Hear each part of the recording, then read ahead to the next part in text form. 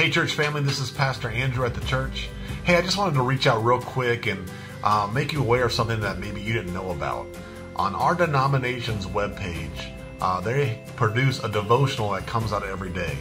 And these devotionals are written by either A.B. Simpson or A.W. Tozer.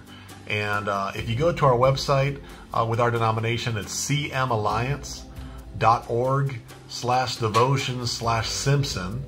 You can read uh, just a daily Devo, and it's great content and great information. And I was so inspired today. I just wanted to let you know about it. And I know there's going to be a link below in the comment section if you want to check it out. But he was talking about how the flesh can't be made a better version of itself. And that true life in Christ can only be a death of the flesh and a new life in Christ. I think so many times we try to make our flesh better without really putting to death the flesh that's within us, the sin, and truly turning to God and His Word and His version of our lives. So I just want to let you know about that. If you've never checked it out before, click the link, check it out. It's a great source of encouragement for me. I also want to invite you later on tonight. We've got a ton of ministries going on. We've got Brad's Bible Talk at 6 o'clock.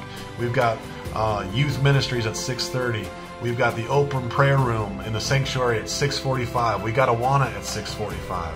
So please come and join us tonight, whether it's online or in person. We'd love to have you here at the church. And uh, hopefully, this is a little source of encouragement uh, that you can daily get into, hear some more about God's Word, and be edified as we pursue Christ as one body. Love you guys, and uh, we're praying for y'all. See y'all soon.